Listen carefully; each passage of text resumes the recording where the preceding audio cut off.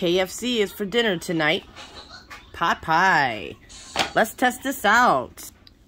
Which I already took a bite of it, so sorry. Okay. Give me some here. That's the bite. Warm. Good. This is so good.